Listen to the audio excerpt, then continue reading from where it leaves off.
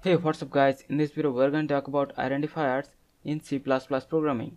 Identifiers are the name given by the programmer for the variable, constant, function, labels or even the user defined data types. Like in example whenever we create one variable like integer number then the variable name number is one identifier which is given by the programmer and also whenever we create one constant then the name of the constant also given by the programmer. So this is also one example of the identifier. Similarly whenever we create one function like an example void display here the name of the function is given by the programmer and which is also one example of the identifier. Similarly we can have the labels and also the user defined data types whose names are given by the programmer and they are the example of identifiers in C++ programming.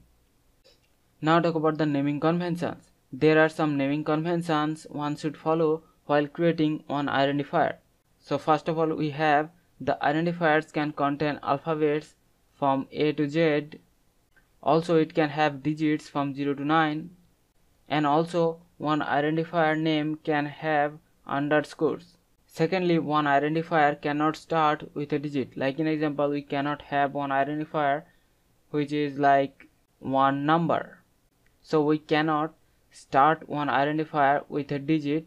The first letter always has to be one alphabet. And thirdly, identifier names should not be any of the reserved keyword. That means we cannot create one identifier which has the name same as one of the reserved keywords in C++. Like in example, we cannot create one variable integer break because break is one of the reserved keywords. And fourthly, because C++ is a case sensitive language, so uppercase and lowercase letters are distinct. So if we have one variable like integer capital A and we have another variable like integer small a, so because C++ is a case sensitive language, so it will interpret both of these variables separately.